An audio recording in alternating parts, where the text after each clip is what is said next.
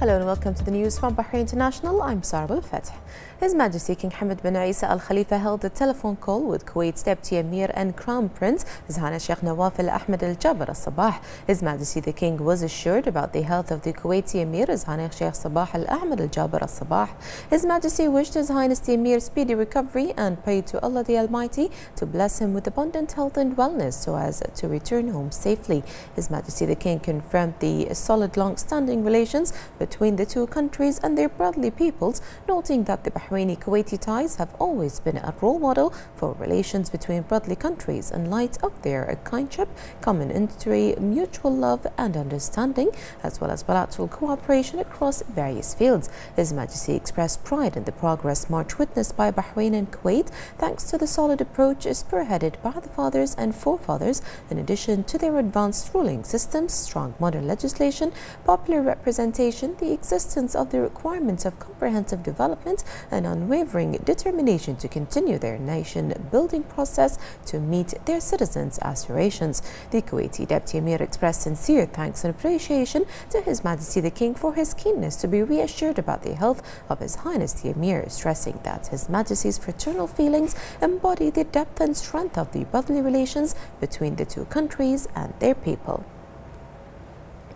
His Majesty King Hamad bin Isa Al Khalifa yesterday received a telephone call from President Gurbanguly Berdimuhamedow of Turkmenistan, who congratulated His Majesty the King on the advent of Eid al Adha, wishing him good health and happiness, and Bahrain and its people further development, progress, and prosperity. His Majesty the King and the Turkmen leader reviewed strong bilateral relations and ways of further bolstering joint ties towards serving common interest in all fields. He hailed the advanced level of bilateral relations, stressing the kingdom's keenness on strengthening relations with Turkmenistan for the good of both countries and people's interests. The two leaders agreed to hold more meetings and step up joint action aimed to consolidate joint cooperation, especially in the political, economic and humanitarian fields. They also reviewed the developments of the novel coronavirus COVID-19 and global efforts to combat the pandemic and mitigate its fallout, wishing the world to overcome the crisis for all people to enjoy health, safety, security and equity the Turkmen president hailed His Majesty's efforts and constant support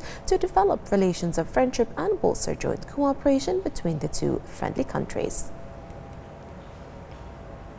His Royal Highness the Crown Prince, Deputy Supreme Commander and First Deputy Prime Minister Prince Salman bin Hamad Al Khalifa held a remote meeting with Dr. Mohammed Nazrul Islam, the newly appointed ambassador of Bangladesh to Bahrain. His Royal Highness the Crown Prince highlighted the progress being made within Bahraini-Bangladesh relations and recognized the importance of identifying further platforms to greater collaboration. His Royal Highness welcomed the newly appointed ambassador to the kingdom, wishing him success in his diplomatic endeavors. Later, His Royal Highness the Crown Prince and the Ambassador discussed a range of regional and international subjects of common concern. For his part, the Ambassador expressed gratitude for the continued support from His Royal Highness the Crown Prince towards further developing bilateral ties and wished Bahrain further development and prosperity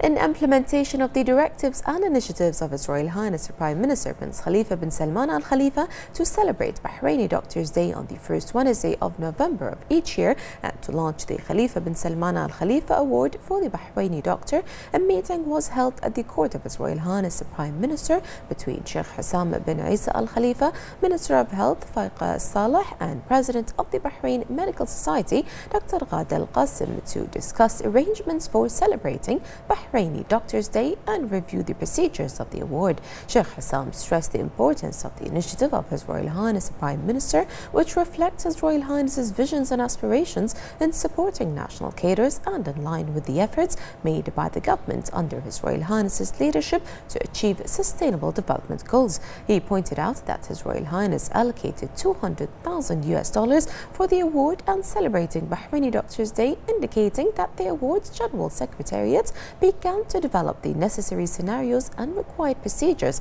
for handing over the award. He noted that the basic system of the award has been set and a committee to choose the winners was formed. He emphasized that honoring is considered an integral part of the developmental intellect of His Royal Highness, who is keen on praising and honoring the efforts of civil servants in all sectors in the kingdom, especially the health and medical sector, within the framework of His Royal Highness's efforts and vision to enhance the levels of human development in all sectors in order to preserve the progress achieved by Bahrain internationally in this field. The Minister of Health expressed thanks and appreciation to His Royal Highness for his patronage to celebrate Bahraini Doctors' Day. For her part, Dr. Ghada Al Qasim also expressed thanks and gratitude to His Royal Highness for his continuous support for doctors and health personnel in Bahrain. The Kingdom of Bahrain, under the wise leadership of His Majesty King Hamad bin Isa Al Khalifa, pays great attention to healthcare through many programs, strategies, and plans aimed at improving the best medical and health services to citizens and residents. The government, led by His Royal Highness the Prime Minister Prince Khalifa bin Salman Al Khalifa, has been keen to develop the health and medical sector out of His Royal Highness's belief of its importance for human development as the Kingdom of Bahrain witnessed a rise in the number of hospitals, establishments, and modern and advanced health centers equipped with the latest therapeutic and diagnostic devices. Also, the government, with the leadership and support of His Royal Highness the Crown Prince, Deputy Supreme Commander, and First Deputy Prime Minister Prince Salman bin Hamad Al Khalifa, worked to provide a strong and distinct infrastructure for health and medical care that is sustainable and able to deal with the challenges of overpopulation, while at the same time preserving the quality of the services provided and ensuring that healthcare services are accessible to all based on the decision of the Cabinet with the initiative of His Royal Highness the Prime Minister to allocate a day for the Bahraini doctor on the first Wednesday of November of each year and to allocate an award in the name of His Royal Highness to honor Bahraini doctors distinguished in the field of medical and treatment research in appreciation of their efforts in maintaining the safety and health of society. This initiative received wide acclaim locally, regionally, and internationally, as many national events and Bahraini medical cadres affirmed that it constitutes a high appreciation of doctors' efforts and sacrifices. At the international level, the World Health Organization's Director General Dr. Tedros Ghebreyesus hailed this initiative, adding that it embodies the meanings of appreciation and honor for health workers and their efforts in combating the coronavirus pandemic. This initiative also received Arab Gulf and international acclaim. The celebration of Bahraini Doctors' Day and the Khalifa bin Salman Al Khalifa Award for the Bahraini doctor gains increased importance at the present time, while the world is facing the coronavirus pandemic, as it is a celebration of doctors who stand in the front lines to combat this pandemic and reaffirms His Royal Highness the Prime Minister's keenness to develop health services as one of the main goals of the government and sustainable development.